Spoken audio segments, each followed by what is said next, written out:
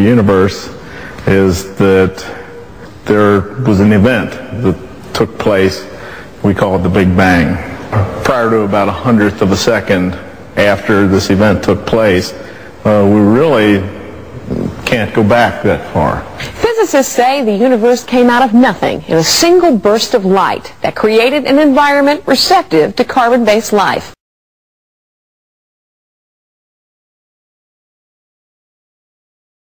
Bible says that too, in the book of Genesis. Some evolutionists say the light which suddenly formed everything in the universe was an explosion called the Big Bang. They say that explosion created all the order we see today. The Bible agrees that the universe came into being suddenly, not by an explosion, but by an act of God. Evolution can't say what or who created the universe.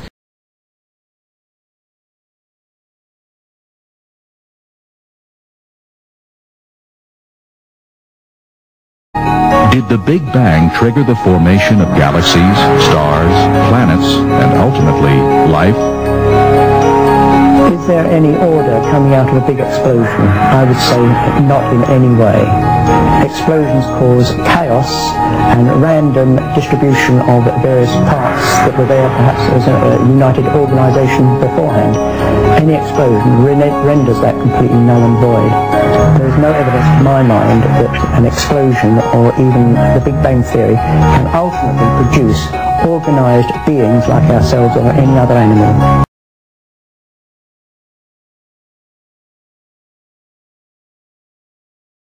Think about it. Have you ever heard of an explosion that has produced order? Do you understand what I'm asking you? The question is, can a bomb from a terrorist form a Rolex watch from the various materials available in the area when it explodes? Of course not.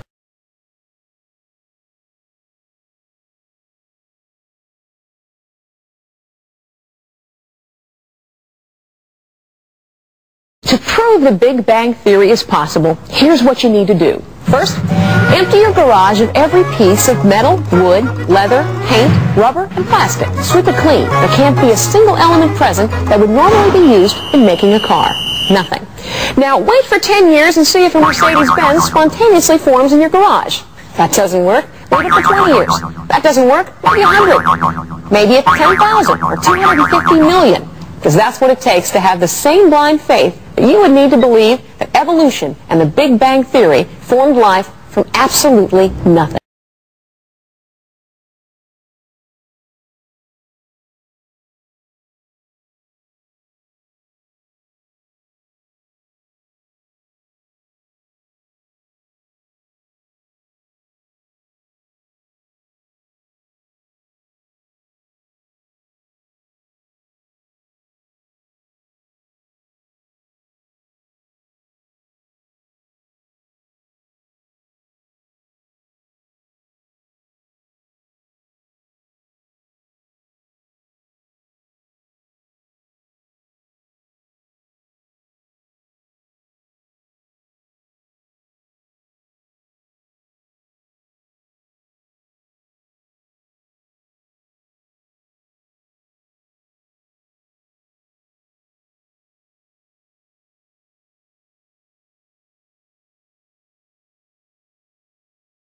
What do you have to believe in order to believe in Darwin's theory of evolution? Well, before any of the other contradictions we've already discussed about the process itself, you have to believe that the beginning of the universe happened all by itself.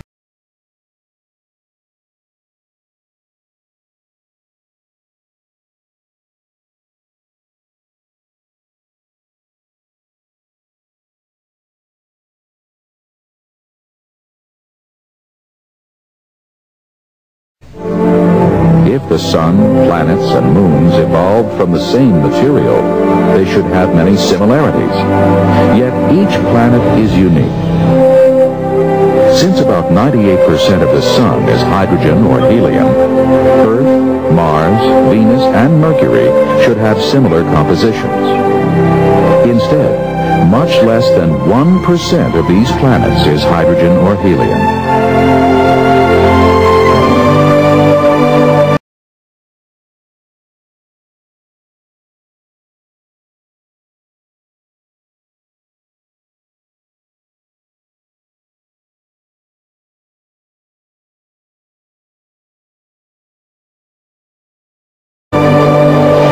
Solar system evolved, all planets should spin in the same direction.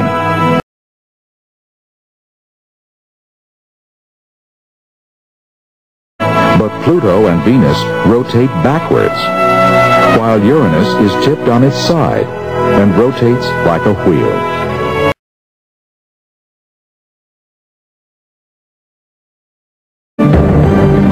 Planet by many small collisions will produce an almost non-spinning planet, since the impacts will be largely self-canceling. Yet, all planets spin, some much more than others.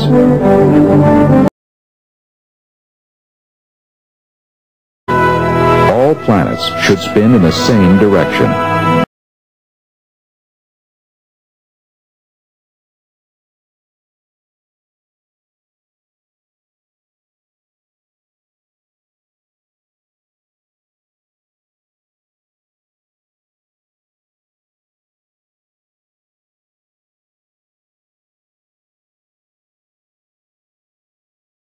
Growing a large, distant gaseous planet such as Jupiter or Saturn poses an insurmountable hurdle for evolutionists because gases dissipate rapidly in the vacuum of outer space.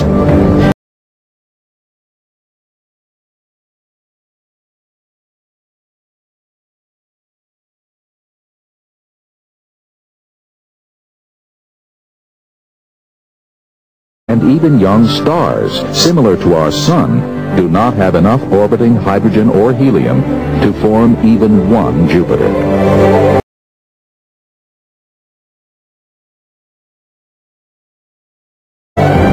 Scientists have no answer as to why four planets have rings.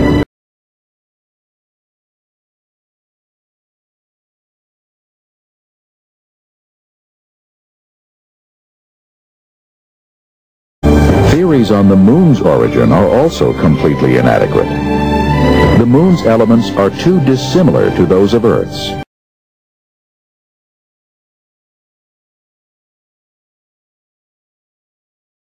And its orbital plane and circular orbit offer strong evidence that the moon was created in its present orbit.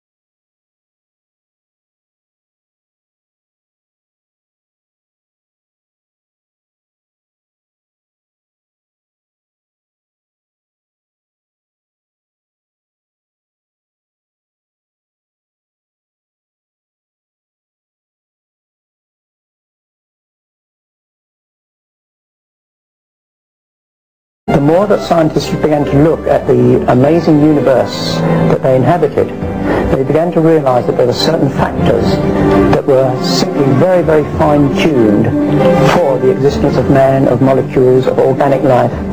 And the more they looked, the more they realized that we are in effect on really quite a knife edge. And there are many, many indications that this universe has been very specially designed and man is at the very center of it.